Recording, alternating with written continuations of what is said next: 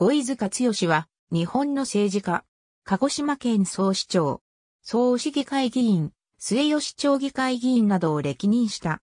鹿児島県末吉町出身。末吉町立光神小学校、末吉町立諏訪中学校卒業。1973年3月、宮崎、県立都城工業高等学校機械科卒業。同年4月、電気設備会社に就職。1976年9月、空調設備会社に転職。1983年6月、同社を退社。1984年1月、有限会社後伊豆カレー暖房サービスを開業。1987年7月、末吉町議会議員に就任。計4回当選。2005年7月1日、末吉町は、宝部町、大隅町と合併し、総市となり消滅。同年7月、総市議会議員に就任。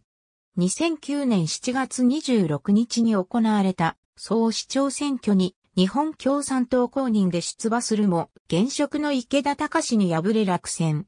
同年11月15日に行われた総市議選に出馬し当選。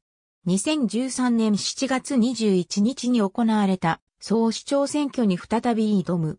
市が五間地区に計画する公園整備事業に反対する市民団体の支持を受け、無所属で出馬。自由民主党、公明党の推薦を受けた現職の池田隆を破り、初当選した。投票率は66.83%だった。7月31日、市長就任。これにより、九州地区で唯一の日本共産党籍のある現職首長が誕生した。2017年7月23日投開票の市長選挙では、日本共産党は離党したものの、民主施政継続の意思は示し、元市議の今鶴春信を破り再選。投票率は64.47%。2021年7月18日投開票の市長選挙で元市議の上村達夫を破り参戦。ありがとうございます。